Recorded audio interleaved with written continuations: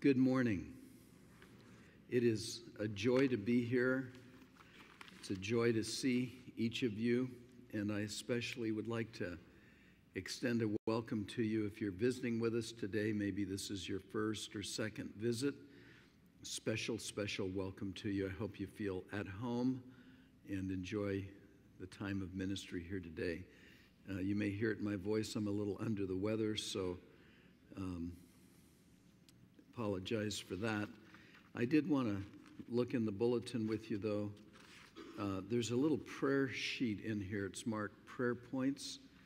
And um, I'm just going to pick the middle one on the front of the page. I just would like to read it. What I do every Sunday afternoon, I'll do it today, is as soon as I get home, I try to um, go over the message, go over the verses, and um,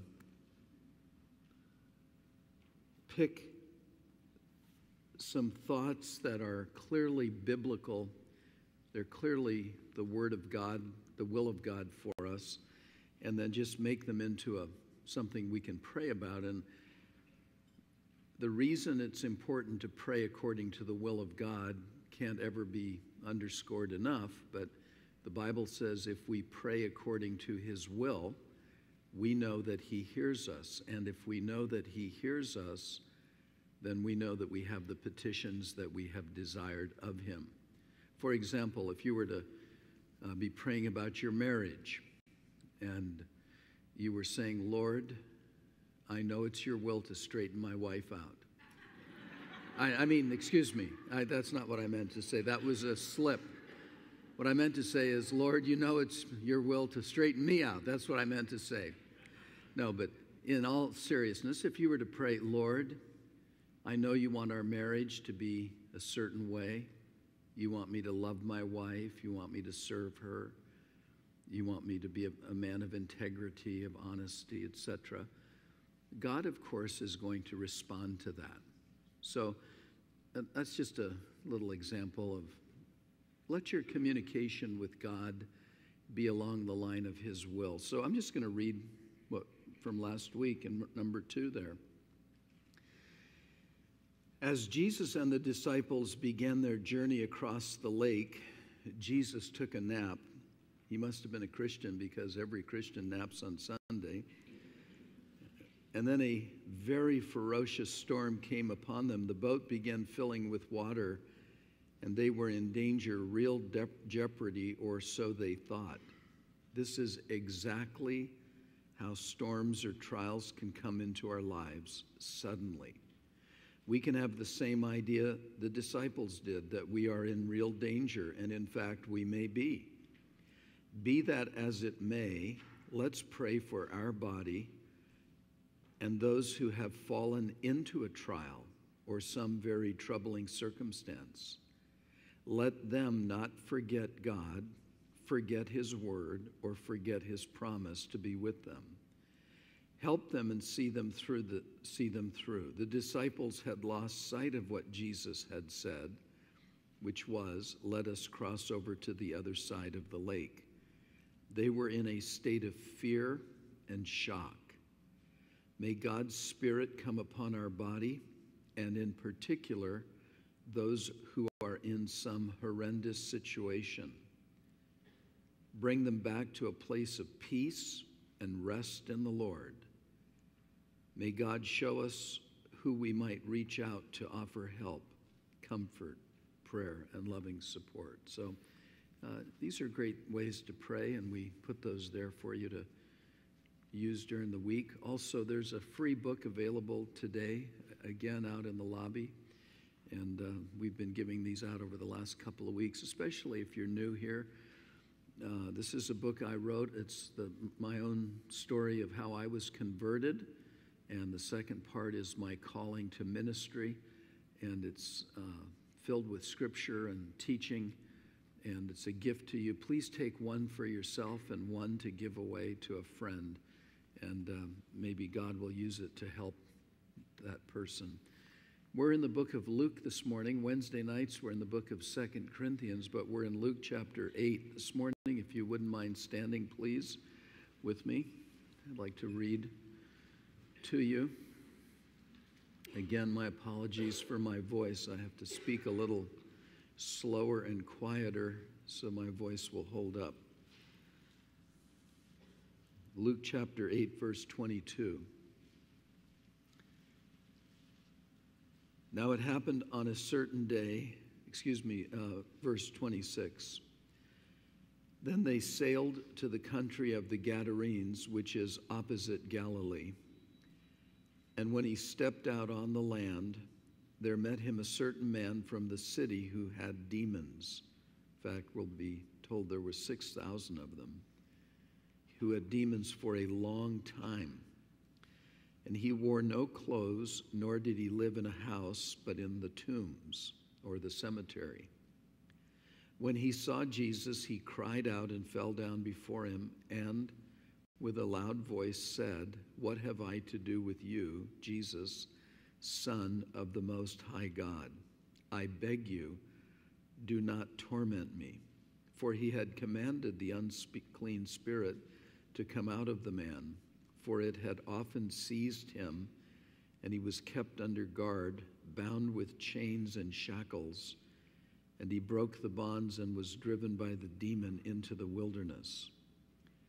Then Jesus asked him, saying, What is your name? And he said, Legion, because many demons had entered him, and they begged him that he would not command them to go into the abyss. Now a herd of many swine was feeding there on the mountain, and they begged him that he would permit them to enter them, and he permitted them. Then the demons went out of the man and entered the swine, and the herd ran violently down the steep place into the lake and drowned. When those who fed them saw what had happened, they fled and told it in the city and in the country. Then they went out to see what had happened and came to Jesus and found the man from whom the demons had departed sitting at the feet of Jesus, clothed and in his right mind, and they were afraid. They also, who had seen it, told them by what means he who had been demon possessed was healed. Then the whole multitude of the surrounding region of the Gadarenes asked him to depart from them, for they were seized with great fear. And he got into the boat and returned. Now, the man from whom the demons had departed begged him that he might be with him. But Jesus sent him away, saying, Return to your own house and tell what great things God has done for you. And he went his way and proclaimed throughout the whole city what great things Jesus had done for him. Father, as we pause now to just pray, I ask, Lord, that you might help each of us in a very brief moment, in a quick moment, bring to our minds something great, Lord, that you've done for us.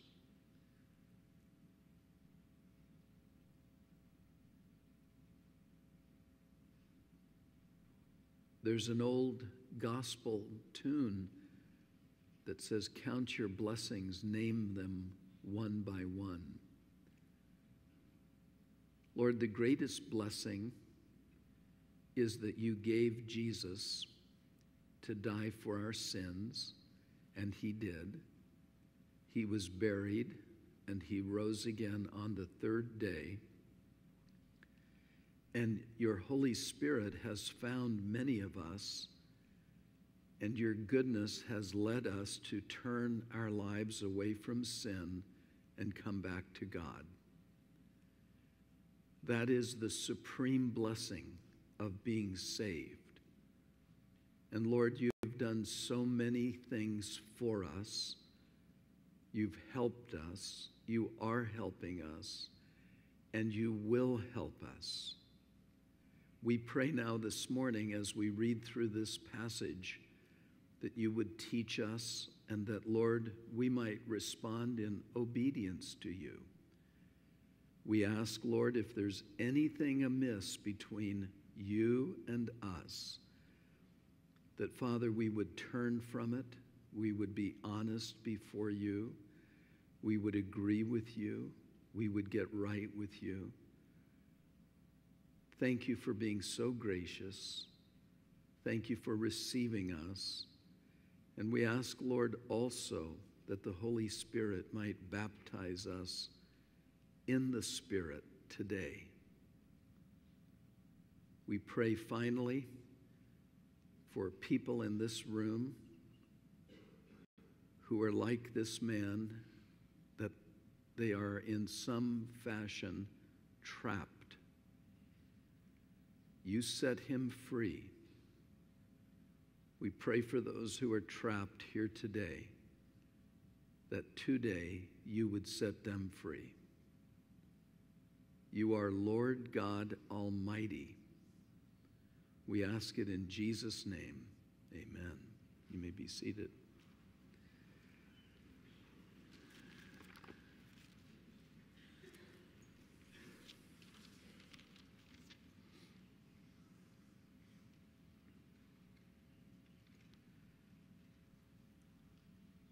When they were in the storm, and thought they were going to perish, they of course woke Jesus up and he calmed the storm and they didn't know what to think of this. And they got to the other side. Jesus was teaching them a lesson, and the lesson had to do with their faith because he asked them, he said, Where is your faith? And the lesson he was seeking to teach them was if I tell you something, which he had told them, let's get in the boat, we're going to the other side. And on your way to where Jesus has told you to go, or as you're going along in the will of God, when a storm hits you, remember to simply believe what Jesus told you. Don't allow the circumstances to get your mind and your heart off of God. When he said, Where is your faith? That's essentially what he was saying to them. What happened? I told you we were going to go to the other side. The storm was just a storm, but I want you to trust me. So they learned a valuable lesson. You could call it a victory. Jesus certainly demonstrated his power over the natural forces of nature. In fact, one of the Gospels tells us that it was Satan who brought that storm on. And now, as Jesus and the disciples make it to the other side and they get out of the boat, they're immediately met by a man who was demon possessed. There's a brief little thought here to share with you before we get into the text. Many times, uh, temptations and attacks from the devil come right on the heels of blessing. God can bring great, great blessing into your life, and Satan will wind up his bow and his arrow, as it were, and he'll aim it right at you. And that happened. Because when they arrived in that region, as Jesus was getting out of the boat, we're told that there was a man there who was possessed by demons, and the man came to meet Jesus. He had been in this condition for a long time. He was homeless, he was naked, he was living in a cemetery outside of town. You have to try to picture that. And as soon as he saw Jesus, he shrieked hard to understand what that must have sounded like, but he fell down in front of Jesus. Then he screamed out. And he asked Jesus a question. He said, Why are you interfering with me, Jesus, the Son of the Most High God? Little side note that we'll look at a little more in depth later, but the demons have a much, they have a very, very good theology much better than many Christians. They, this particular man who was possessed by 6,000 demons called Jesus appropriately Son of the Most High God.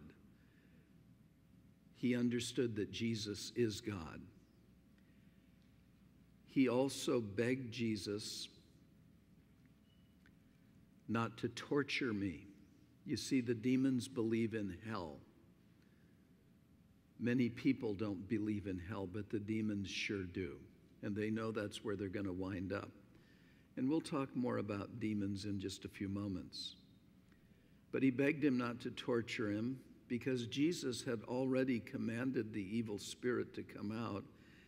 And that spirit would often take control of the man even during those times when he was placed under guard and put in chains and shackles, he simply, through the supernatural power of demons, someone in our congregation asked me about that word supernatural a while ago. We live in the natural world here, the visible world. There's a spiritual world, and the word supernatural is just referring to that invisible spiritual world. And by the way, the demons are much more powerful than we are here in this natural world. But he had supernatural demonic power, and he would break those chains, and then he'd just rush out into the wilderness completely under the demon's control. And so G- Jesus then asked him a question, a very simple one. He said, What is your name? Legion, which means it's a Roman term, military term. 6,000 demons inhabited this man. Can you imagine? 6,000 demons. He was filled with many demons. And the demons kept begging Jesus not to send them to the bottomless pit, which many believe is in the center of the earth, where there are some demons that are already chained and being reserved for judgment. It's different than hell. They believe in the judgment of God. Many Christians don't believe in it.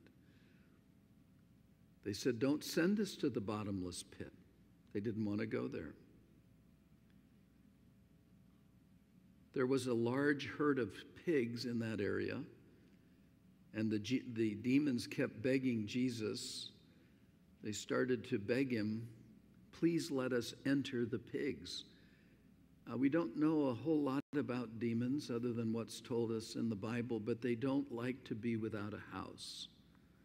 They don't like to not be inhabiting something, be it a human being or be it an animal. In fact, we're told a little story in the Bible of a man who was freed from demons, but he didn't get his life right with God. And seven more demons came back and filled his life up. So they said, Could we go into those pigs? There were a couple of thousand of them. So the Lord gave them permission. The demons came out of the man and they entered the pigs. And when they did, the entire herd ran off the cliff down into the Sea of Galilee and drowned. Not original with me, but those were the first deviled hams.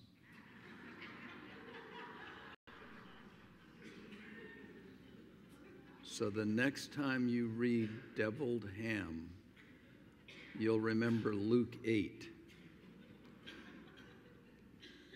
It's great to laugh, but nobody else was laughing. And demons are not a funny subject. Now, when the herdsmen, the guys who were taking care of these pigs, saw this, what they did is they went to the nearby town and all of the surrounding countryside and they started spreading the news of what had happened as they ran, much like Paul Revere. And people who heard about this, they rushed out to the location there. I've been there, by the way, to see what happened. And a crowd soon gathered around Jesus. And guess what they saw? They saw that man who had been freed from the demons, and guess how he looked? Well, he was first of all no longer running around, he was sitting quietly at Jesus' feet. He was fully clothed. We're not told where he got the clothes. And he was perfectly sane. And everybody who saw this was afraid. And then those who saw what happened told the others how the demon possessed man had been healed. So the crowd came to see, they saw it, but then those who saw the actual exorcism, they told the crowd exactly how it had happened. And all the people now, that entire group, the herdsmen and all the people from that region, guess what they did? They begged Jesus to go away and leave them alone. They said, Go away. They were so afraid. Guess what Jesus did? He, he accepted their request. He got back into the boat and he went back to the other side of the lake. And the man who had been freed from the demons, he begged Jesus. He said, Can I go with you? And Jesus told him no. He said, You can't. He said, I want you to go back to your family, go to your home. And I want you to tell them, your family, everything that God has done for you. So he went through the town, all, he went all through the town proclaiming the great things Jesus had done for him. So he didn't just tell his family, but he went through the whole town where he lived and he told them all, This is what Jesus did for me. Now, let me just kind of take the story from the end and go back up. Little thought for you. Sometimes we ask the Lord, Can we do this? Can I do this? Can I go with you? Would you do this for me? Can I go in this particular way or this ministry or whatever it might be? And a lot of times the Lord just says no. But if He says no, He also has something else for you to do. And in this case, the man was very compliant. He, he obviously wanted to go with Jesus, but he was very compliant, and he did exactly what Jesus asked him to do. And by the way, he was a very effective missionary. He was a very effective evangelist. As Brent said, you know, use that Saturday night as a tool of evangelism. By the way, off script, I want to proclaim next Saturday as Men's Day at Calvary Chapel. Okay, can we make a resolution? Are you, could everybody in favor say aye? Okay, that's here's what it means. We're starting with breakfast and we're ending up with basketball, okay?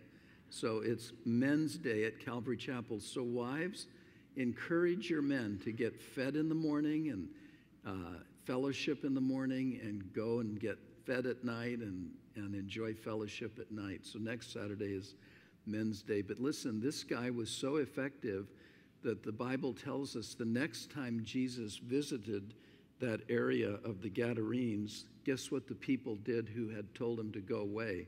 They now welcomed him and they recognized him and they welcomed him. So if God is saying no to you and he's sending you somewhere else, do what God tells you to do.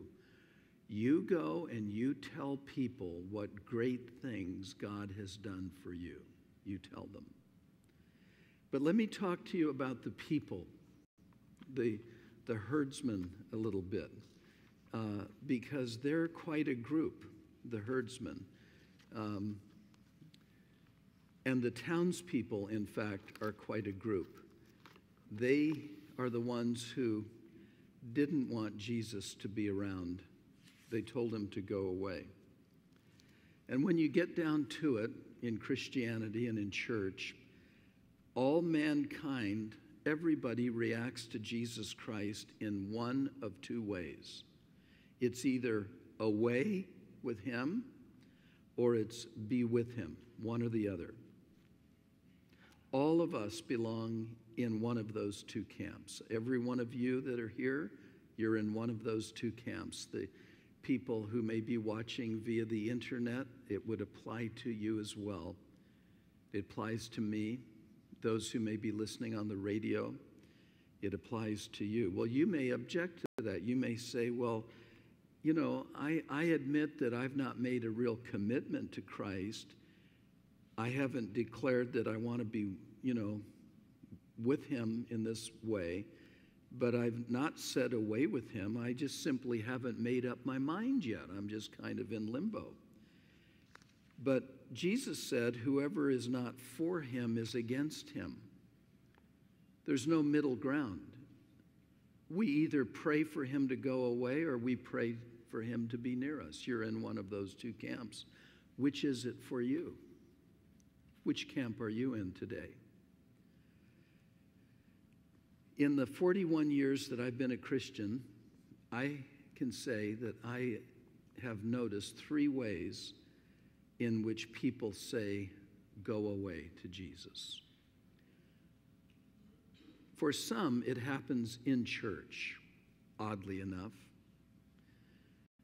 The Spirit of God begins to work on their hearts, and they realize that the message of Christ is both true and it's what they need. Some people even feel a real joy in making this discovery. It's quite exciting for them. Yet, because of concern over what their friends or their family might think, or out of fear of being mocked, they resist the Spirit and they shake off His influence. They're afraid that if I really give my life to Christ, people are going to ridicule me. What's my wife going to say? What's my husband going to say? What will my coworkers say? Well, I can tell you this they're going to give you a hard time, plain and simple. So you can know that up front. Paul said, All who will live godly in Christ Jesus will suffer persecution. You make a stand for Christ, you will be mocked. You make a stand for Christ, you will be ridiculed.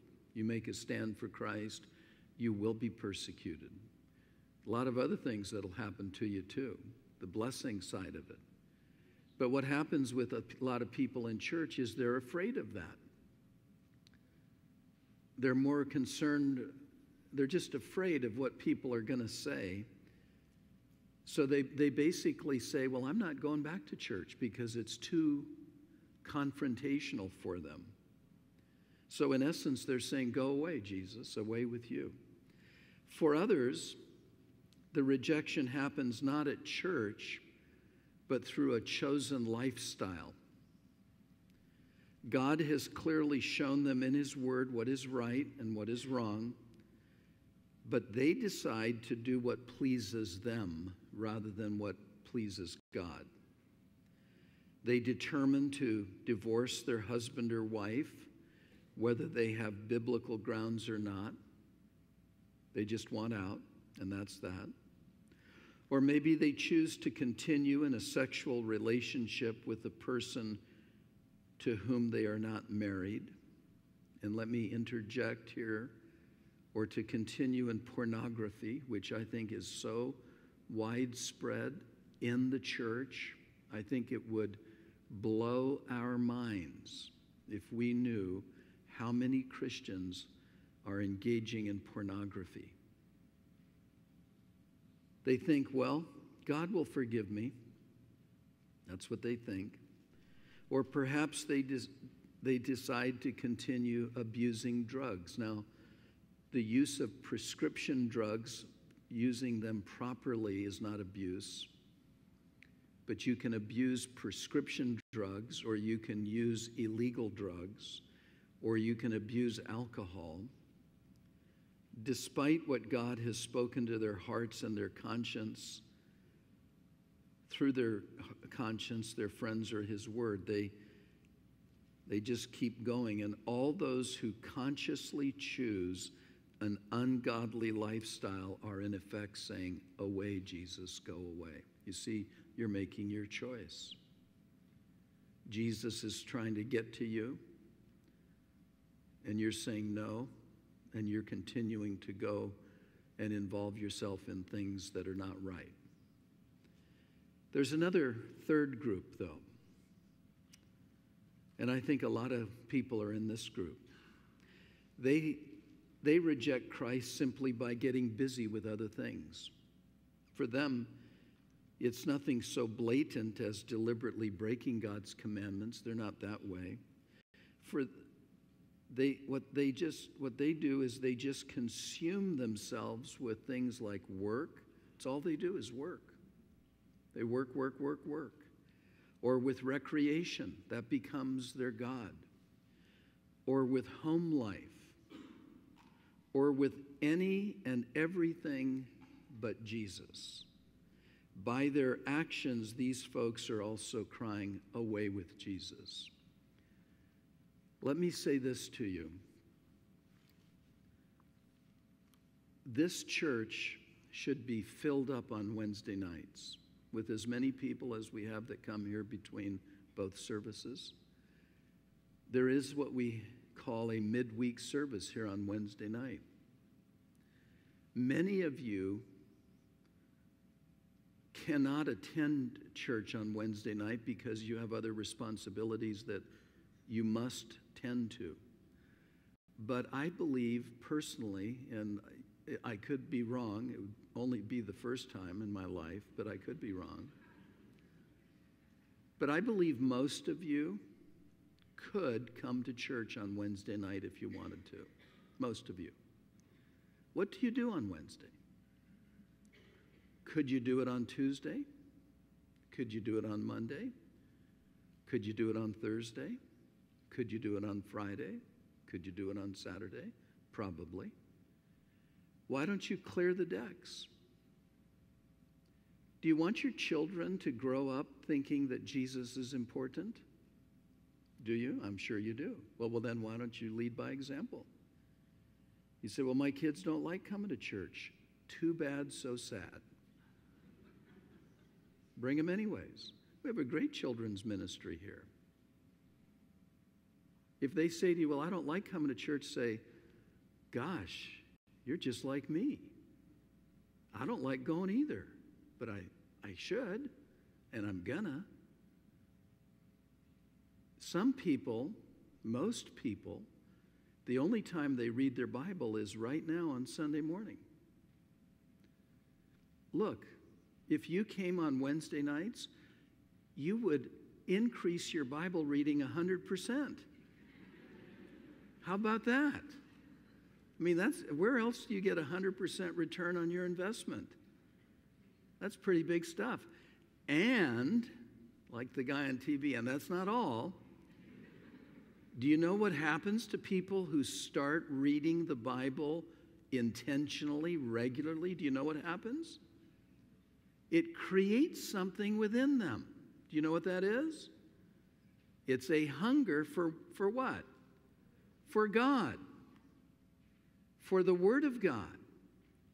So pretty soon you're being satisfied, but you want more and more of Jesus. Do you know what happens to people who want more of Jesus and more of the Word of God? Do you know what happens? Your life begins to change. What happens is your life begins to get closer to God. And I'm sure if I were to ask every one of you who are Christians, do you want to be close to God? You'd say, Yes, I do. Well, then do what it takes to get close to God. Here's a promise from God. I'll quote it again later, but draw near to God and He will do what? He'll draw near to you. If I were to say to you, Hey, do you want to go to Hawaii? You'd say, Yeah. I'd say, Well, then here's how you go to Hawaii. You got to get on a plane and go to Hawaii. You can't just sit around and say, Oh, I want to go to Hawaii. What are you doing? Oh, I'm just wishing I want to go to Hawaii. Well, why don't you go? So I want to exhort you, I want to admonish you.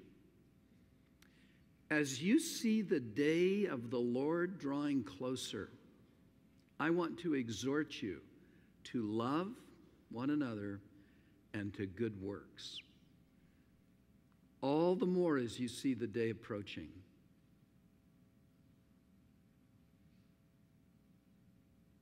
Do not forsake the assembling of yourselves together. I want you to just think about it right now. What do you do on Wednesdays? Could you come to church? Bring your Bibles with you. If you don't have a Bible, we'll buy you a Bible. You need to have your own Bible.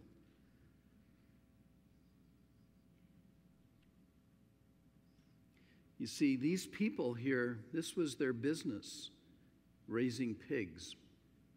Jesus was bad for their business.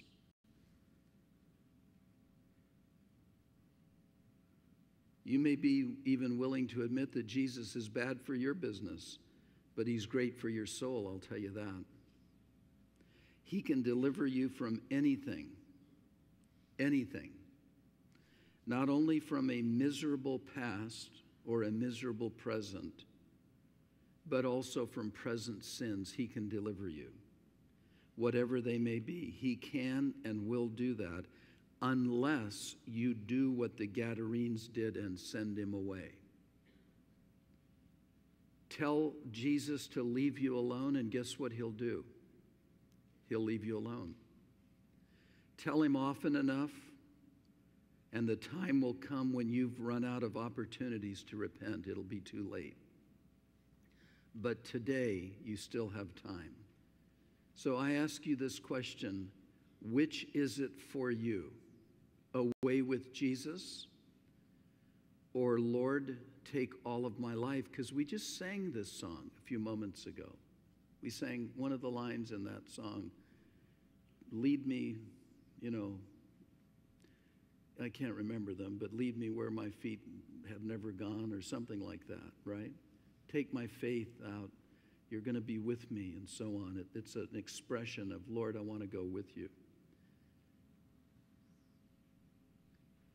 If Jesus is bad for your business, it's time for you to get a new line of work. What about demons? Let's just talk a little bit about demons for a moment. A lot of people want to know about them. They're really in this story here. Just as there are angels who look out for your welfare, and do you know that there are? We do have what are called ministering, they're called ministering spirits. Some people call them guardian angels, but that's not quite in the Bible, but they are watching out for you. There's, they're right here with us today. And there are also angels who are bent upon your destruction. So that's interesting, isn't it? You've got one group of these angels who want to help you, and one group that wants to destroy you. The Bible teaches this that when Satan fell from heaven, he took one third of the angels with him. Revelation 12 4 tells us that.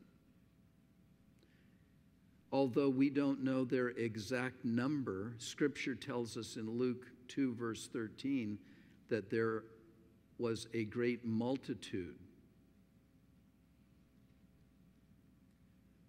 Um, or the Bible teaches that there was a great multitude. In fact, it's an innumerable number. It's actually a number, but it's a hyperbole. It's so many. There's God, the Father, the Son, and the Holy Spirit. There's all types of angelic beings. There's certain creatures around the throne of God, but there are three archangels Michael, Gabriel, and Lucifer. Each of them had a particular job that God assigned them to. Lucifer's job was one involving praise. And he had the problem of being discontent. He was not content with the position that God had placed him in. And he wanted he didn't want to be what he was. He wanted to be something different and he specifically wanted to be like God. He was very prideful. This is why God hates pride. He hates it. And by the way, pride is so entrenched in our systems. That's why the Bible warns about leaders. Don't put a young Christian in a position of leadership lest he fall into the same temptation that the devil did. God does a work in a man or a woman's life to humble them and to work with that area of pride. Because leadership is all about exalting Christ, not yourself. And unless God deals with your pride, you will exalt yourself and not God. And then God will have to humble you. So, pride is a very, very, very dangerous thing. I've read about it. I'm sure glad I don't have a problem with it. But you know, it's this very thing of not being content that gets people in trouble. You know, the great Apostle Paul, we call him the great Apostle Paul, and he was the great Apostle Paul. He didn't use those terms, we do. But do you know that he wasn't always the great Apostle Paul, that he was a man always, just like you and I, with the same nature as ours? He had to start out his Christian life, and he had to learn, just like you and I learned. You know what one thing he learned? He learned to be content in whatever state he was in. If he was in Florida, Oklahoma, New Mexico, it didn't matter whatever state he was in, whether he was abounding or whether he was abased, whether things were going well or things were going hard, he was content. And when a person isn't content, what happens is they start kind of paving their own way and carving their own way instead of letting God lead them where He wants them to go. That can get you in a lot of trouble. That's what happened to Satan. So he led a third of the angels, they, they hooked on with Jesus, they joined in. So Satan has a sizable, imagine, one third of the angels, a sizable, highly organized force under his control. I'll bet you none of you or me have ever really stopped to consider how widespread and how many angels he has working for him. You know, if we were in intelligence in the military, we would know right to the man how many people are in the army of every country. We know their weapons. That's why we have undercover secret operatives to figure out what do, the, what do they have. Satan has a huge army. They're very, very well organized. These fallen angels are also known in the Bible as demons. That's what they're called. And they help Satan to accomplish his purpose. That's, that's what they're doing right now. They're helping him try to accomplish his purpose, which, in the words of Christ, are to steal. He's a thief. You say, well, what is it that he wants to steal? Well, what did he steal from Adam and Eve in the garden? He stole the word of God, didn't he? In a, in a sense. He wants to take the word of God away from you. He wants to steal, he wants to kill, he wants to destroy. That's basically what his mission is. He wants to, do, you see, God is seeking to build you up. It's like building a house. Satan is in the demolition business. He's got a big wrecking ball. And he's just driving around every day saying, Well, who's next? And he's got jackhammers and everything else and explosives.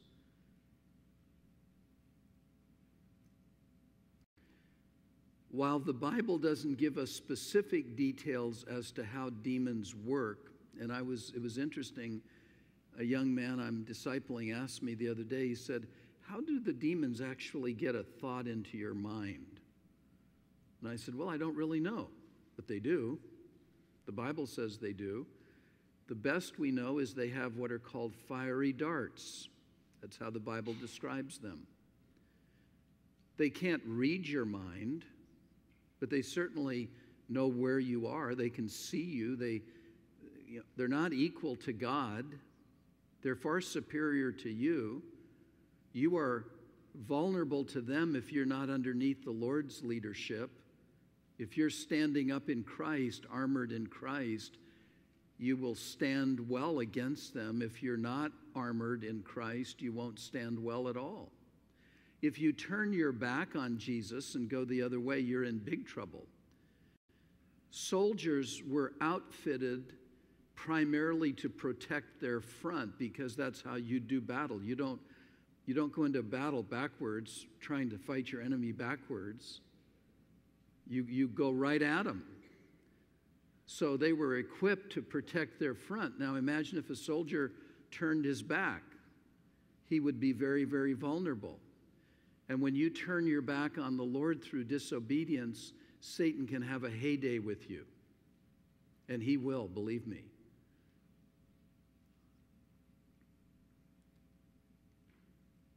So we don't have all the details. We only have what God has given us, but we can be confident that everything we do need to know about them is found in the scripture. And the Bible says this concerning the devil just be wise and simple about him. You don't need to get all shook up about it. I'd be careful about reading all these books about the devil. Read books about Jesus. Read books about the Father. Read books about the Holy Spirit. Read the books and autobiographies and biographies of great men of God. Read good Christian literature that talks about the Lord, about the church and you'll do just fine concerning the devil.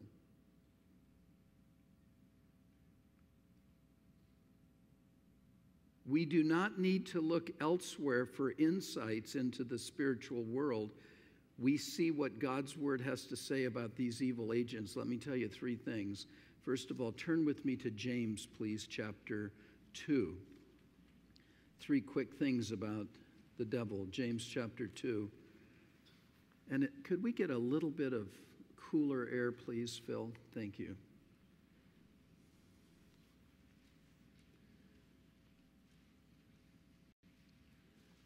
Here in James chapter 2, we see what demons believe. Strange as it may seem, demons do acknowledge that there is only one God. Look what it says in verse 19 of James chapter 2. James speaking to the believers, he said, You believe there is one God? You do well. It's a good thing if you have good theology about the Father, the Son, and the Holy Spirit. Even the demons believe. They have good theology. In fact, I would venture to say the demons have better theology than most Christians and they tremble. They're so afraid of God. They know so much about Him. They tremble, and they ought to. If you'll turn with me to the book of Acts, please, chapter 19 for a moment. Acts chapter 19.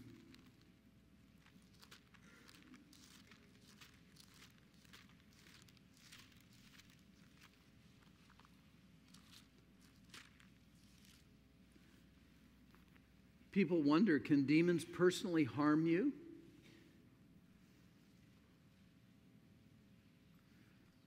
Well, let me say this those people who have a true relationship with Christ cannot be overcome by demons, but those who do not are fair game for these servants of the devil. Acts chapter 19, beginning in verse 13. Then some of the itinerant or traveling Jewish exorcists, excuse me, took it upon themselves to call the name of the Lord Jesus over those who had evil spirits, saying, We adjure you, or we solemnly command you by the Jesus whom Paul preaches Also, there were seven sons of Sceva, a Jewish chief priest who did so. So these guys were going around using the name of Jesus towards these demon possessed people. And here's what happened to them in verse 15. And the evil spirit answered and said, Jesus I know, and Paul I know, but who are you? Then the man in whom the evil spirit was leaped on them and overpowered them and prevailed against them, so that they fled out of that house naked and wounded. How about that? They stripped their clothing off, wounded them, and these guys ran for the hills. Verse 17 This became both known to all the Jews and Greeks dwelling in Ephesus, and fear fell on them all, and the name of the Lord Jesus was magnified. And many who had believed came confessing and telling their deeds. So it, it brought about a kind of it brought about a glorification of the name of Christ, the person of Christ, and a conviction into the lives of many believers so that they actually came confessing their evil deeds and telling their evil deeds. Also, verse 19, many of those who had practiced magic brought their books together and burned them in the sight of all, and they counted up the value of them, and it totaled 50,000 pieces of silver. 50,000 pieces of silver. It was a tremendous amount of money. In fact, if the silver drachma is meant here, the value would have been the equivalent of about 138 years' pay for a rural laborer. That's a lot, isn't it?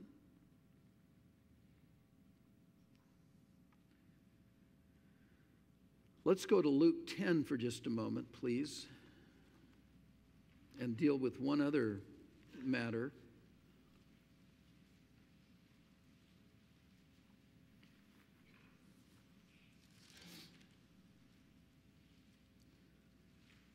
We know what demons believe. They believe all the things that are true.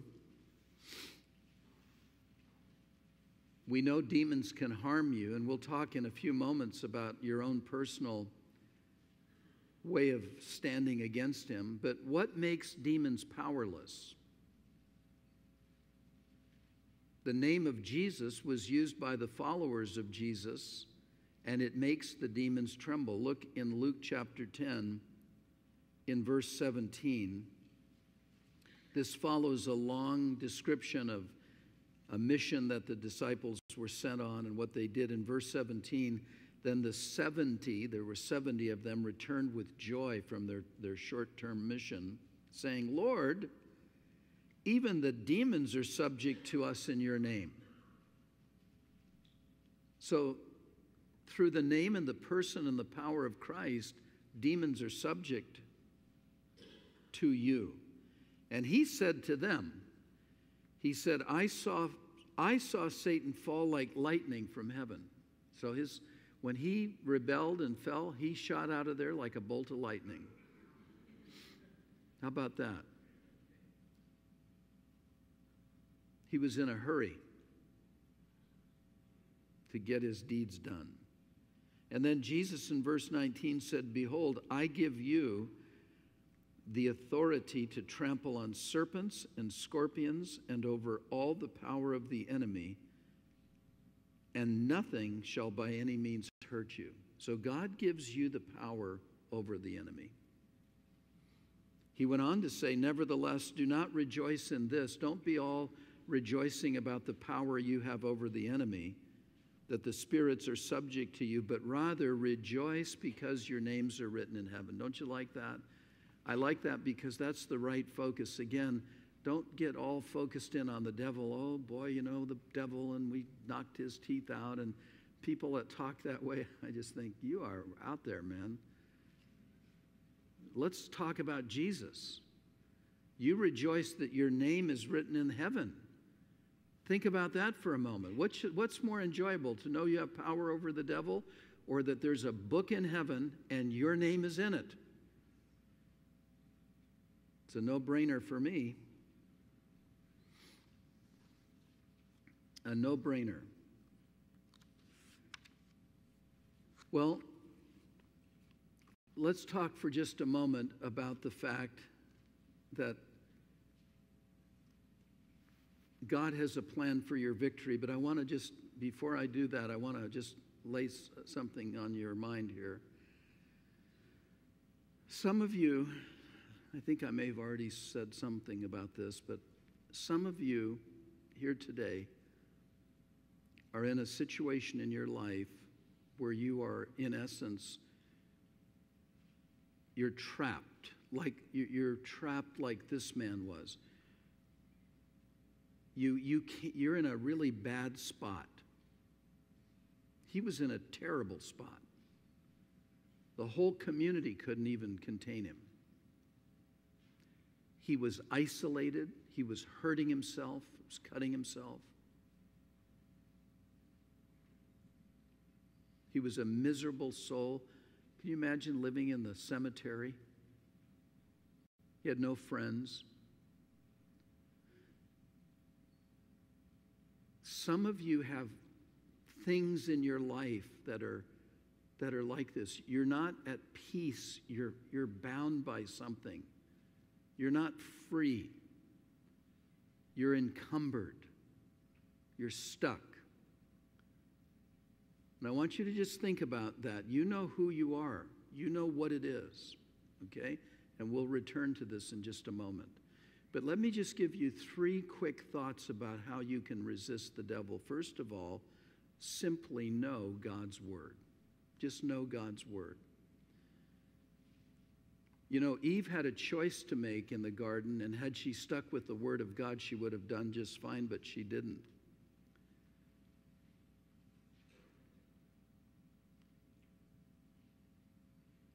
We need to know the Word of God. The reason we do is when the enemy comes with his lies and his temptations and his distortions, we can use Scripture offensively and defend ourselves too.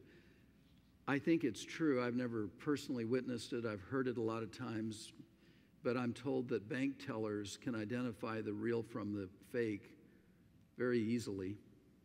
Not that I've ever tried to pass off counterfeit money, but I've been told that they can.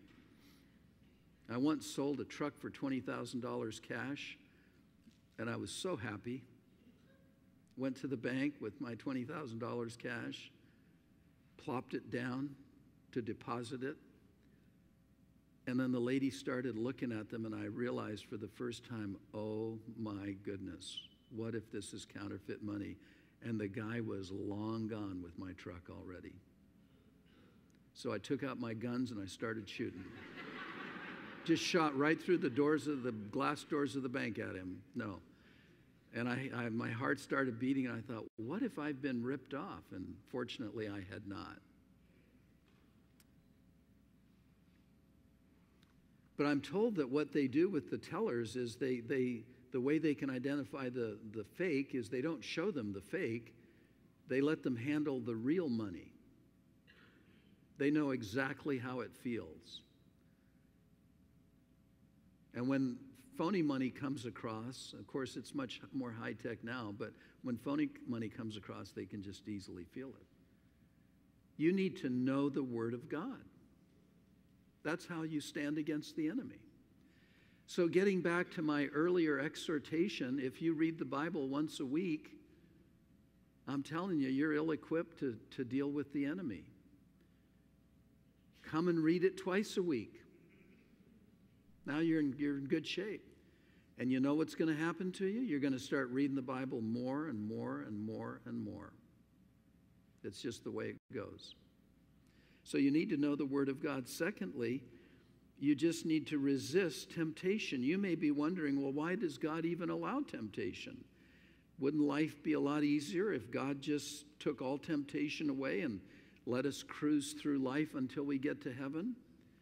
Well, temptation, believe it or not, can have a very positive impact on our lives.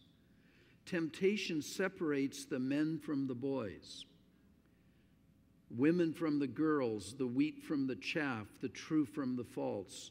When you are a true child of God and you are tempted, you cling to God all the more. Here's what A.B. Simpson said Temptation exercises our faith and teaches us to pray. It is like a military drill and a taste of battle to a young soldier. It puts us under fire and compels us to exercise our weapons and prove their potency. It shows us the resources of Christ and the preciousness of the promises of God.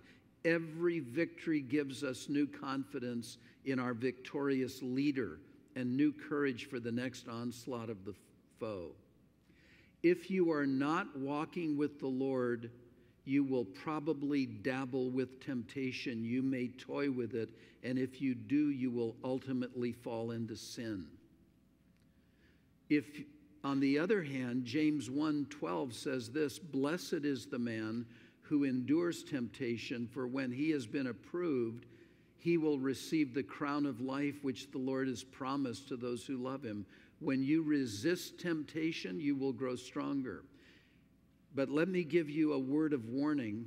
As I've mentioned earlier, temptation will often hit you during times of blessing and spiritual victory. Brace yourself. Many times after God has really ministered to you or has used you, Satan will have his bow loaded with his flaming arrows and he will nail you. The third thing, first of all, know God. Secondly, know the Word of God. Know God's Word. Resist temptation. But thirdly, draw near to God. We need to keep up our guard and stay as close to God as we can. You know, if you were in a battle and you knew your enemy was right across the street, you wouldn't just walk out in your front yard, you know, like, hey, it's a nice day out here today. You'd be walking out prepared. You'd be walking out on guard.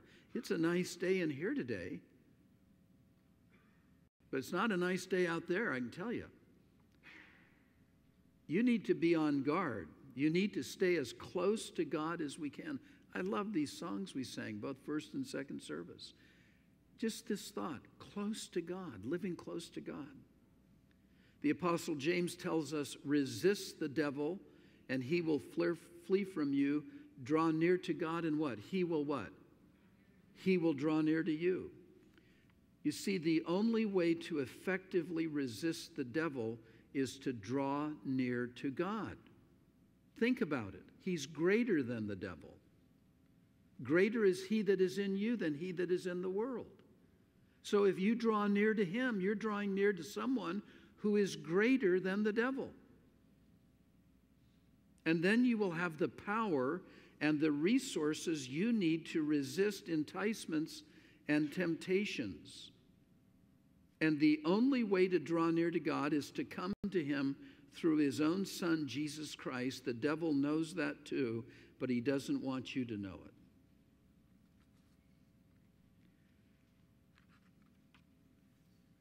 So let me ask you this that man who was filled with these demons, what a horrible life he had. But then he was sitting quietly, sanely, clothed, obedient to Christ, useful for Christ, telling people about Christ. He went from that one extreme of isolation to communication with people. He went from being shrieking and crying to praising and rejoicing because what was in him and what was upon him was now no longer in him and upon him.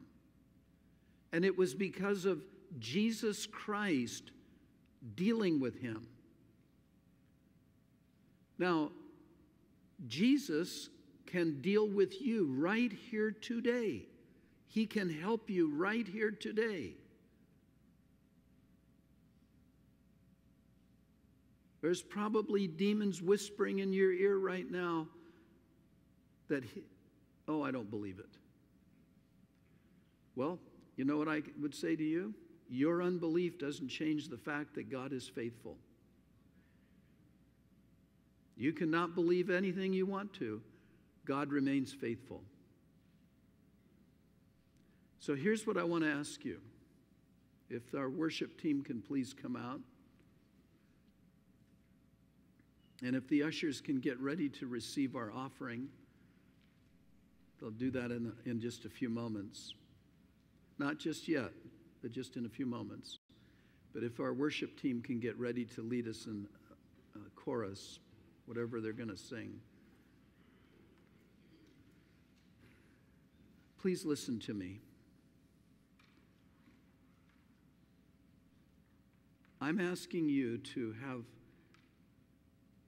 an encounter right now with the Lord Jesus Christ at the most difficult part of your life, whatever it is. And I'm asking you to ask Jesus Christ to set you free from that thing that has been holding you in bondage. It could be anything. It could be that you're bitter, you're angry, you're sad, you're afraid, you're caught up in things that you're not, you know, aren't right, you shouldn't be. I mean, it could be anything. Could be confusion. It could be a sense of despair.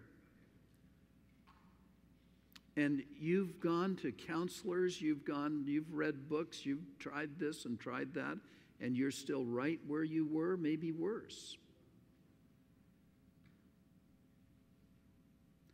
What that man did is he came to Jesus. He actually bowed down to Jesus. We read the whole dialogue. I'm asking you to come to Jesus today and ask Jesus to set you free. That's a simple prayer, isn't it? He knows what it is, He knows what you're thinking right now. So here's what I'm asking you to do I'm asking you if you want the Lord to help you I want you to just stand to your feet. And by standing to your feet, you're expressing your faith to God. You're saying, God, you don't need to, nobody's going to guess. They're trying to guess, well, now is he this, doing this, she doing that. That's not what it's about. If you want Jesus to help you, please stand to your feet. And don't just do herd mentality here. You stand in reverence, you stand with sincerity, you stand in honesty. Maybe some of you are not even saved. And you know you need to be saved. Why don't you stand to your feet?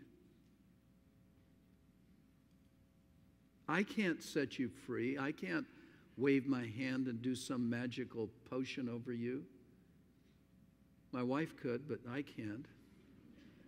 My wife can do anything. At least that's what she tells me. But you know what? Our Lord Jesus Christ can. He is the Lord Almighty.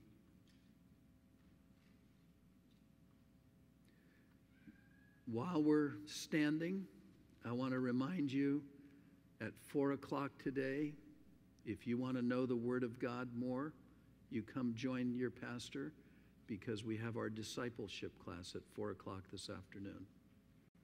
Okay? Just come. Even if you haven't come, some of you came, I saw you walk out. I thought, well, I don't know where you're going, but please come back. You come at 4 o'clock today. I'll help you. We'll get into the Word of God. So the team is going to lead us in song.